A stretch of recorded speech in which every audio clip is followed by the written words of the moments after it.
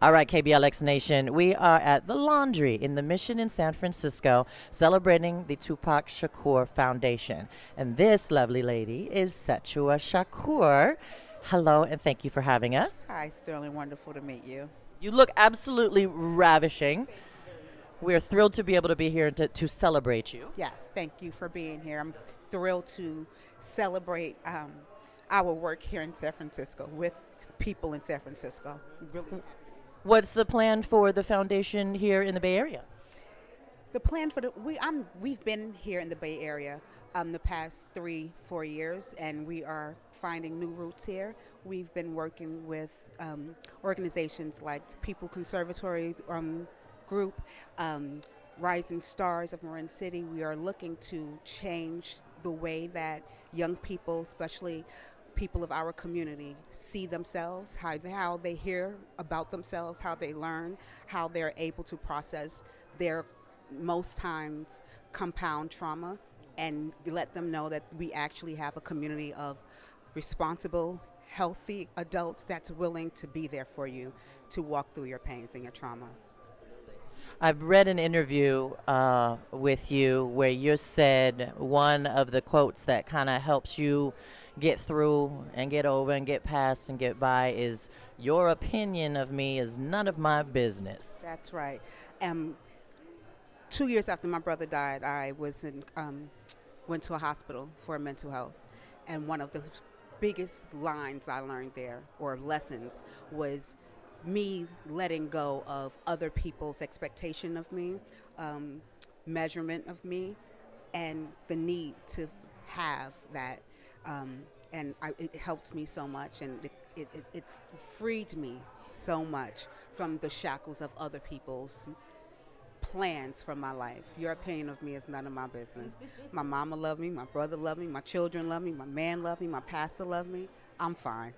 Mm-hmm. And most importantly, I hope you love yourself. I love me. That's the biggest lesson I've learned in the past 20 years is how to do that safely. Yeah.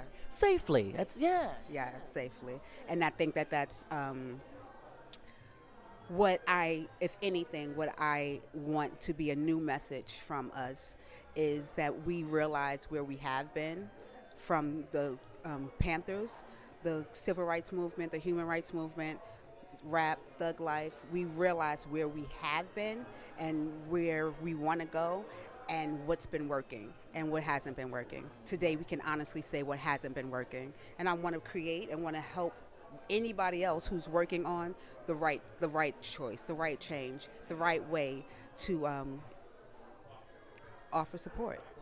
Just I mean when I say the simpleness of clean a clean hug or a clean neighbor to know that you really do have support here with no malice, with no malicious. I'm not trying to molest you. I'm not trying to take from you.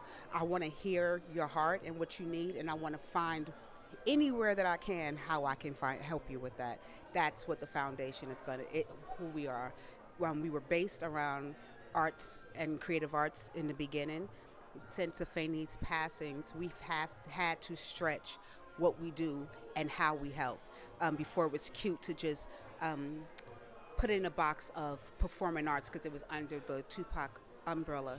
But now we really, I feel the need to fill in the blanks from not just Tupac, but from my grandfather, my father, my mother, my uncles, my aunts, and all of the other ancestors that we have. Right now, I don't know why, but Fannie Lou Hamer's name is screaming in my mind for Fannie Lou Hamer, for all of the people who tried to do and make a mark and, and show an example of where we can go and pride and what dignity looks like and what integrity looks like. That they haven't failed, but we haven't gotten there. And I would like to find to offer a new way, a new way of um, accepting and, and asking for help and love and support. And do you think with this foundation, especially with your brother's name on it, that it's going to help fight the stigmatism of especially black Americans to get help in mental illness? What I'm looking for first, um, help with mental illness, but what I, this year, let's just say, because I've done groundwork, and what I'm realizing is that we don't know that we can ask for help.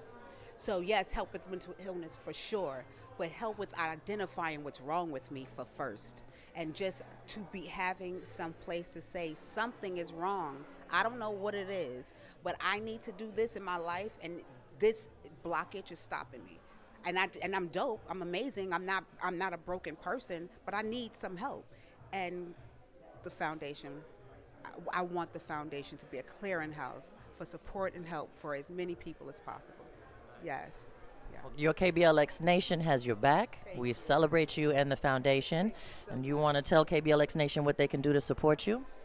You can go to Tupac Amaru Shakur Foundation.com, .org, all of those, um, and donate to our new website that we just started today. So thank you guys so much.